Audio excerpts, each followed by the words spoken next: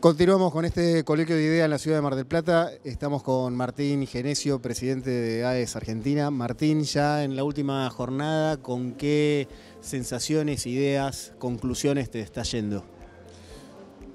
Agarro. Hola Juan, ¿cómo estás? Bueno, primero muchas gracias por la entrevista. Las sensaciones que me llevo son positivas, son sensaciones de optimismo. Y, y básicamente esto es así porque entiendo por todo lo que escuché en este coloquio, que lo que se está discutiendo hoy, lo que nos estamos jugando es un cambio cultural. ¿sí? Siempre hablamos del potencial que este país tiene en diversos sectores, el sector de la energía, el sector del agro, el sector de la economía del conocimiento. Y hace mucho que venimos hablando de esto, pero lo que yo estoy escuchando ahora es más que eso. Lo que estoy viendo es que hay un cambio cultural en el cual la sociedad de alguna manera todos nos hemos dado cuenta de que como venimos haciendo las, cosas, no va más, hay que cambiarlo. Y me parece que las tres corrientes que hoy se están pugnando la presidencia también se han dado cuenta de, estos, de esto y le hablan a la sociedad en ese sentido.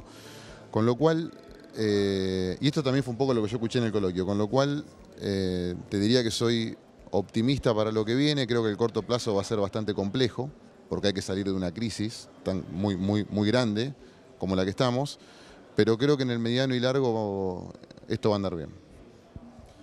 Hoy en, la mañana eh, se presentaron una serie de propuestas con, en el capítulo gasto público. Uno era la reducción de, de subsidios, particularmente el tema tarifas de energía y dentro de ello fuerte electricidad. Y dentro de lo mucho que se dijo, que puede llegar a ser, o de hecho va a ser una medida muy impopular, lo que se explicaba es que hay una oportunidad única para hacerlo, por condiciones internacionales en cuanto a precios y también condiciones internas en cuanto a la actualidad del sector que hacen que los costos de producción bajen.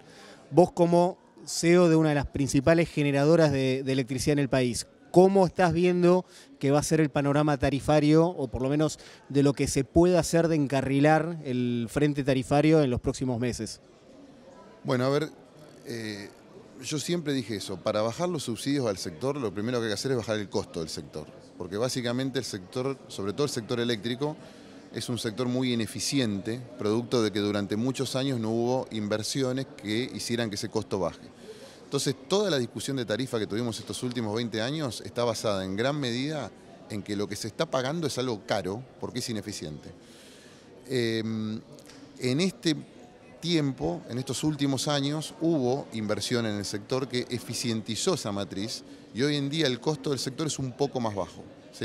Y además a eso se suma, como vos bien dijiste recién, un panorama internacional en el cual ha habido baja en los costos de combustible. Ese combo hace que el costo del sector sea más bajo que el costo que teníamos hace unos años atrás, o el año pasado incluso, con la subida del costo de los combustibles líquidos o del gas natural.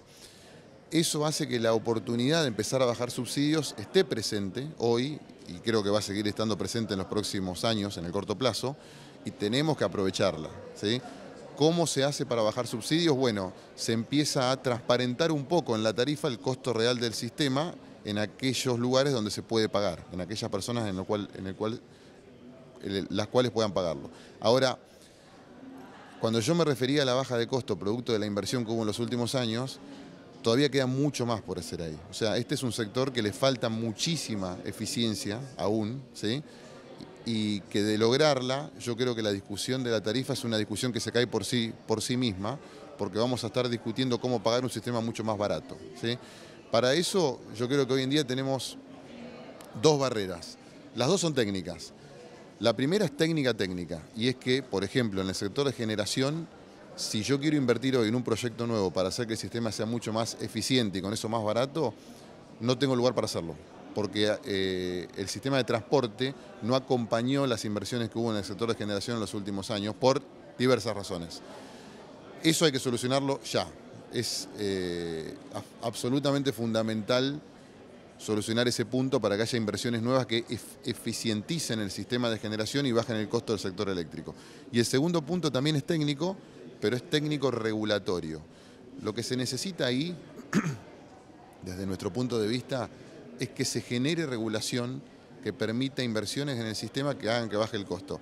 pero no regulación como la que estamos viendo en los últimos años, en las que solo se ofrece un contrato desde el Estado, que suele ser caro, porque justamente para incentivar esa inversión lo que el Estado ofrece es, es pagar ese producto caro para que la inversión venga. Yo creo que hay que buscarle la vuelta para que la regulación permita que la inversión venga, pero que no dependa de un pago estatal a 20 años a un precio muy alto. De hecho, en la mayoría de los países del mundo donde esto funciona, no existen este tipo de contratos con el Estado.